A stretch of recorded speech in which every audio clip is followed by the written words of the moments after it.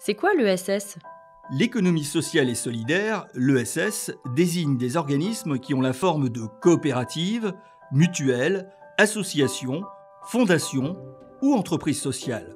Ils véhiculent des valeurs telles que la solidarité, l'utilité sociale, l'inclusion, appliquent des modes de gestion démocratiques et l'économie de partage. Mais concrètement, à quoi ça ressemble l'économie sociale et solidaire près de chez vous?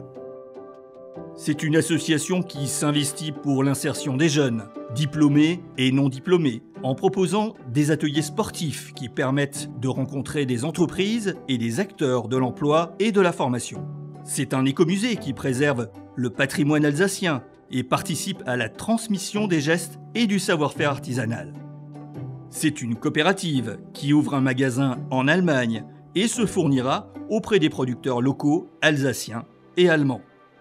C'est une entreprise qui recrute sur la base du savoir-être, forme ses salariés et leur confie des responsabilités. Ce sont les parcs naturels régionaux qui participent à la protection de l'environnement, l'économie du territoire et entretiennent les spécificités culturelles. La collectivité européenne d'Alsace s'engage et finance les structures de l'économie sociale et solidaire répondant à cinq principes. Économie de proximité, environnement et circuits courts, insertion et lien social, développement humain, citoyenneté, coopération et transfrontalier. La collectivité européenne d'Alsace soutient l'économie sociale et solidaire qui crée de la richesse économique et humaine et contribue au bien-être du territoire et de ses habitants. L'économie sociale et solidaire, c'est environ 65 000 salariés et 5 600 établissements employeurs en Alsace.